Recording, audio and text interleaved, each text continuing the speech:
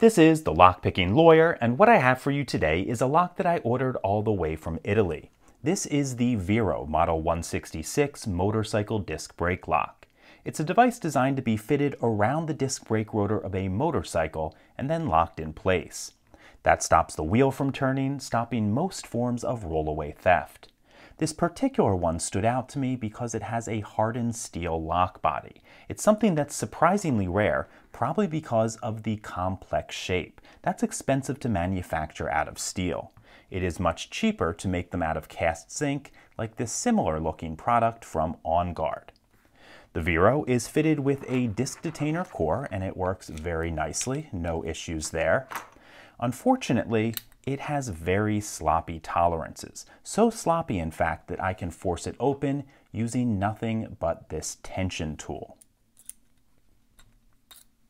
Folks, this is absolutely inexcusable.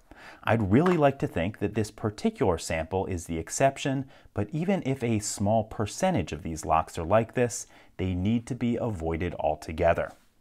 In any case, that's all I have for you today. If you do have any questions or comments about this, please put them below. If you liked this video and would like to see more like it, please subscribe.